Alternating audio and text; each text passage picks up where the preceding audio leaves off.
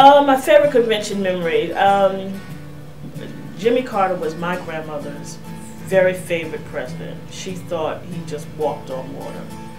Um, and now my grandmother died in 1991, so she never got to see me work on any conventions, including my very first one, which was the 92 convention. So when I go to conventions, I always think about how my grandmother is not there with me. So in, in 2008, uh, President Carter came to the convention. Um, and he hadn't been to conventions in a couple of cycles, and he decided to come in 2008.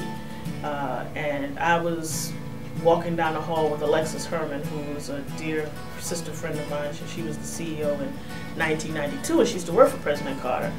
And someone said, "Oh, President Carter's in in this room where he was getting ready to do an interview." And I walked in, and she I'd never met him before, and Alexis introduced me to him.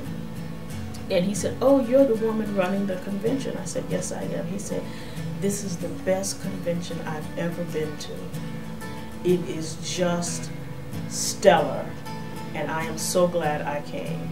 Well, I was so happy I could have gone home right then. I said, I'm done. Jimmy Carter said I did a good job, and that's all I needed to know. My, and my nana would have been really happy uh, to hear Jimmy Carter say I did a good job.